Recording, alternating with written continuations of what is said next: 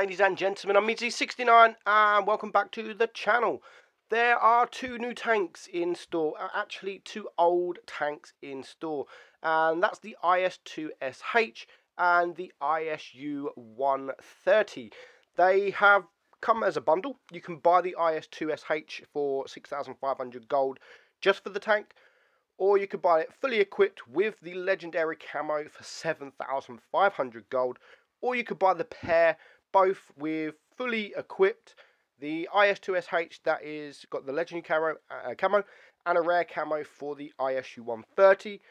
You can get that for 10,500 gold. I think that's a really good deal. It says 60% off there.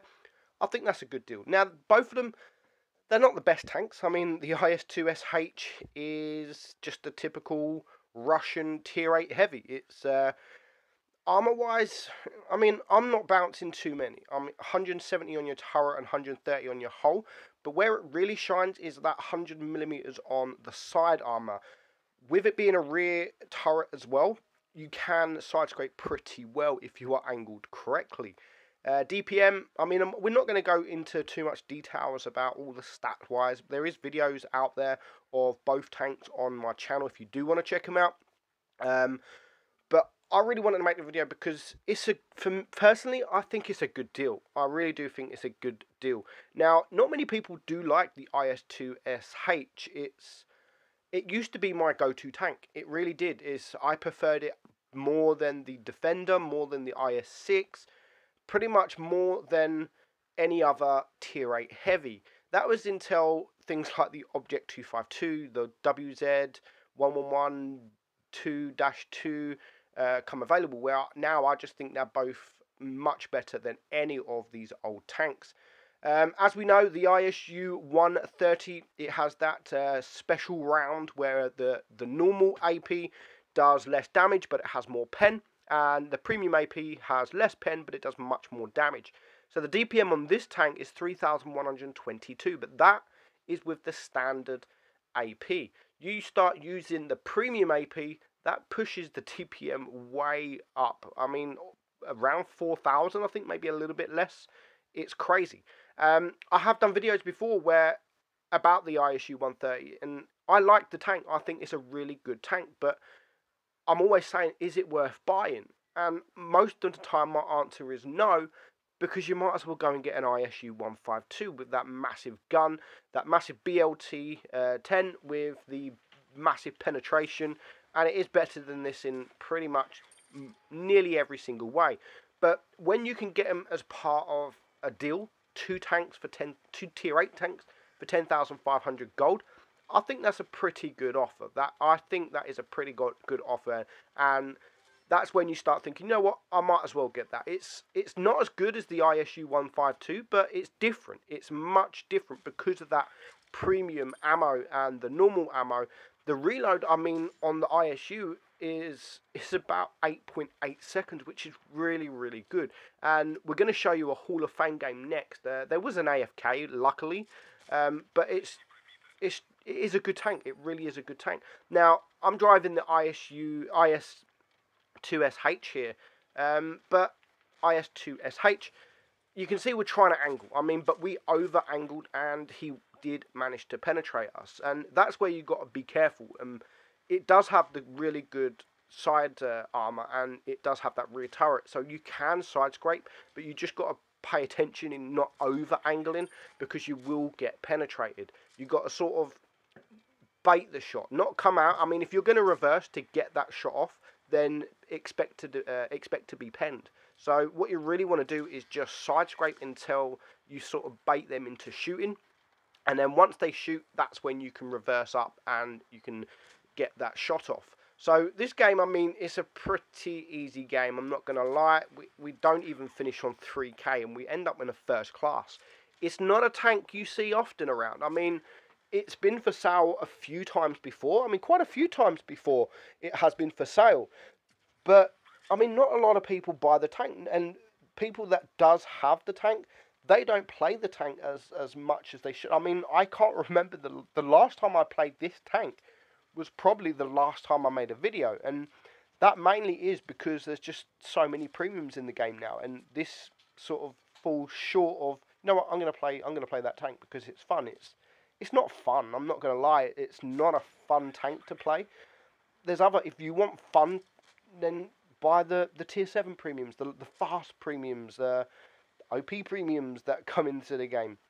Uh, but if you just want a cheap deal, a cheap tank that earns credits and still can hold its own, then yes, I would say probably these two tanks is, is a good deal. And even if you wanted to buy this tank on its own without the camo, if you've got credits, if you've got credits, then yes, you probably no point buying this for the the 6,500. You might as well just buy the 5,000 one, which is a really good price for for a tier 8 tank if uh, if you look at all the other tanks that come for sale. So, I mean, 93,000 credits for 2.6k damage, and you can see that was a first class. I did absolutely nothing. Um, but next up, we do have the one and only Loro.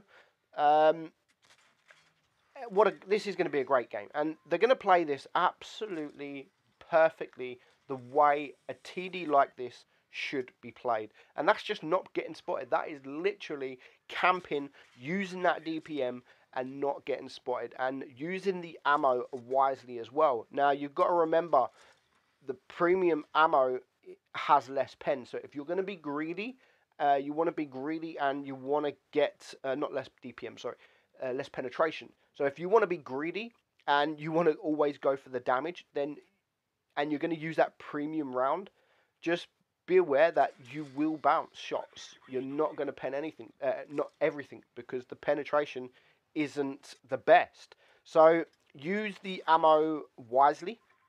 If you can easily penetrate, I mean, if you're coming up against tier 8 heavies, tier 9 heavies, then I wouldn't use the premium round. I'd, I'd just use the normal AP. It still has 3100 DPM with the normal AP.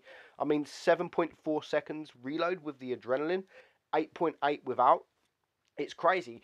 But another thing I would recommend with this tank is don't shoot too many HE. If you can HE tanks like Borsigs or any SP1Cs or anything like that, just be careful that sometimes it's not worth it. Sometimes it's not worth it. I mean, the HE ha has 600 alpha, where the premium AP on this has 540.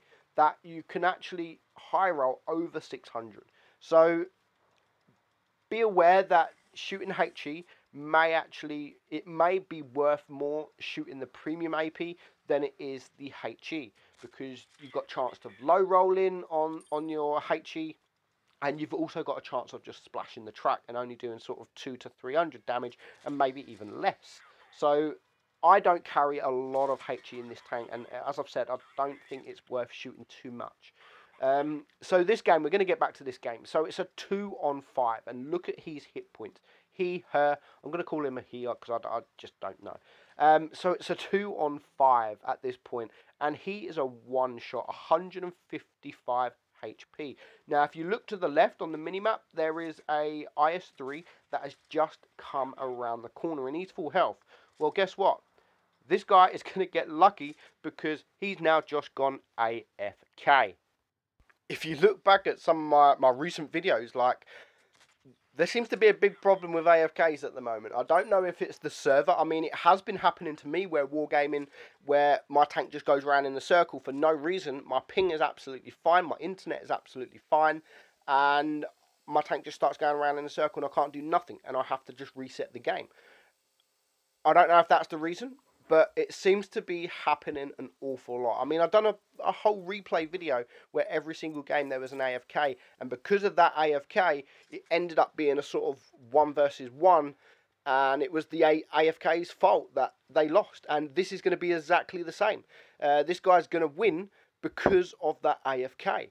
So it ruins games. It does ruin games. It might not be his fault. I mean, I'm not blaming the AFK because he might have just got kicked out of the game. I was streaming again. I was streaming the other day, and it just kicked me out. Literally, it just kicked me out of the game whilst I was on the stream.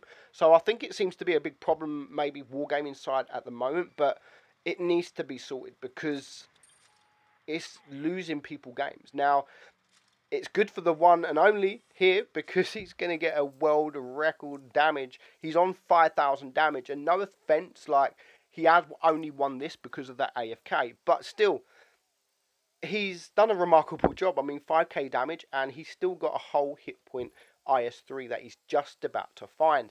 Now, he needed to find him right now because 40 seconds left on the clock and the enemy are winning on supremacy points. Now, if the enemy, if it got down to zero and the enemy are on, say, 800 supremacy points, they would still win. Not a lot of people know that, that they don't have to get 1000 cap points or supremacy points or to kill to win. In supremacy, you just need the more points. So he does clear the IS-3, and I mean, 6,500 damage in a tier 8 tank is still a great job, and 7 kills at that as well. So that is the deal, that is the bundle, a very good bundle at a very good price. And I would say if you've not got too many other premiums, then that might be worth thinking about purchasing. But I hope you enjoyed it, guys. I'm Meadsy, and I'll catch you soon. With